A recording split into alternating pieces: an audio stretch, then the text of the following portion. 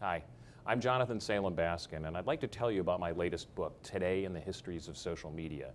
There's an underlying premise behind the 800 pages in this book, but don't be scared, they're all short two page essays. And that premise is that social media aren't a new phenomenon. We've been social ever since, well, society began, since social and society are based on the same Latin word for working together and cooperating.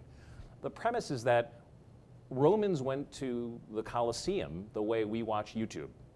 Uh, French revolutionaries went to the coffee house to debate issues the way we talk online in chat rooms.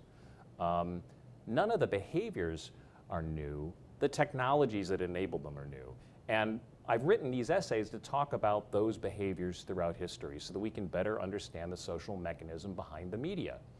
So if you're thinking about doing a blog post or if your business is running a social media campaign and you're looking at the latest and greatest technology platform, I wrote these essays so that you could take a look at maybe what are the behaviors you're trying to tap, what are the kinds of things you're trying to accomplish, and how might you do them better, faster, more efficiently, and perhaps more knowledgeably.